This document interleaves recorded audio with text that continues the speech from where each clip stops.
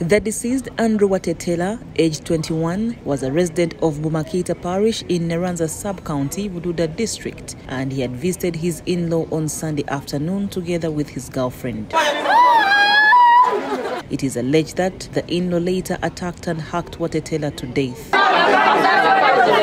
According to residents, the suspect also wanted to murder the girlfriend of the deceased, identified as Vivian Wabuyaka, a student of Nabumali High School, who survived with serious injuries. It is alleged that the suspect, Samuel Mashetsa, had misunderstandings with his wife over parish development model funds. They say the suspect's wife refused to give him part of the money before she fled to Kenya, where she's staying currently. Mashetsa, who has been staying alone for close to two months, was angry with all his in laws. Peter Wamboko, one of the people who rescued the deceased girlfriend, narrates that by the time they got to the scene, the suspect was hacking the girl.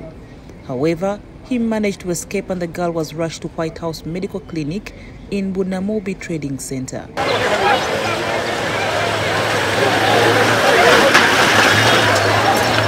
According to Richard Wambete, the LC3 chairperson for Buchigai sub-county, they intervened immediately to stop the angry residents from causing more harm. We are now on ground to rescue the houses of the neighbors following the mob justice that those from the family of the deceased have caused. The angry mob lit the suspect's house on fire and destroyed his property.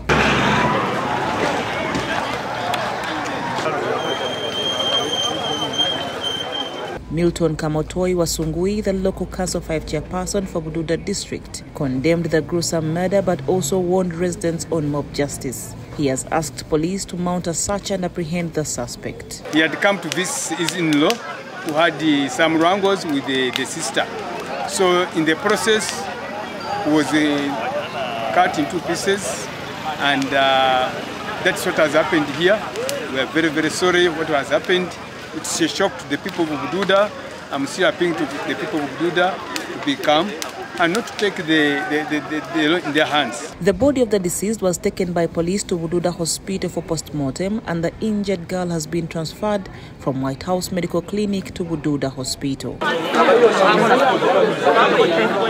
Report compiled by Andrew Nakaboya for the news.